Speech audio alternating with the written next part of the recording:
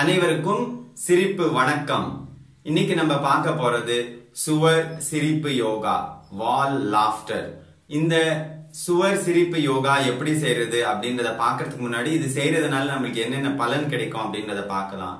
மிக முக்கியமான பலன் முதலாவது பலன் இது நம்ம சொல்லு பேச்சு யாராவது ரொம்ப நாளா கேட்கவே மாட்டேன்றாங்க அப்படின்னாக்கா நீங்க இந்த சுவர் சிரிப்பு யோகாவை செய்ய ஆரம்பிச்சீங்கன்னாக்கா இருபத்தி ஒரு நாள் தொடர்ந்து செஞ்சா நம்ம சொல்லு பேச்சு கேட்க ஆரம்பிச்சிடுவாங்க.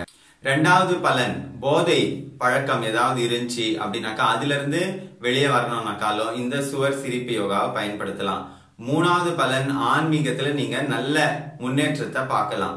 ஏன்னாக்கா போதி தர்மர் அவரும் இந்த மாதிரி சுவரை பார்த்து தான் இந்த மாதிரி சுவரை பார்த்தே அப்படியே சைலண்டா உட்கார்ந்து இருந்தாரு. ஒன்பது வருஷம் அவருக்கு ஞானம் கிடைச்சது.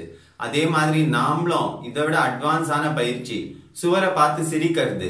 இது செய்யறதுனால நம்ம ஆன்மீகத்துல என்லைட்டன்மெண்ட் ஞானம் அடைகிற நிலையை கூட அடையலாம்.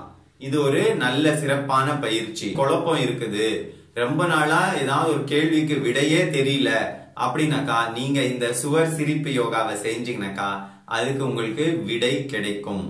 இப்போ இந்த சுவர் சிரிப்பு யோகாவை எப்படி செய்யணும் அப்படின்றத பார்க்கலாம். நீங்க ஒரு காலியா இருக்கிற சுவர் அதாவது பிளெயின் வால் டிசைன் இருக்கிற வாலை பார்த்து உட்காரக்கூடாது. பிளெயின் வாலை பார்த்து உட்காரணும். அந்த பிளெயின் வாலை பார்த்து உட்காந்து பாருங்க இந்த மாதிரி நீங்க சிரிக்கணும்.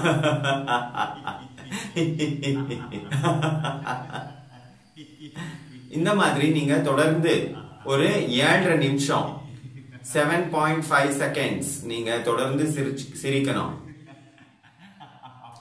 இந்த சுவர் சிரிப்பு யோகாவை நீங்க நின்னுன்னு கூட செய்யலாம் உட்காந்துனும் செய்யலாம். பாருங்க நின்னு செய்யறதா இருந்தா இந்த மாதிரி செய்யணும்.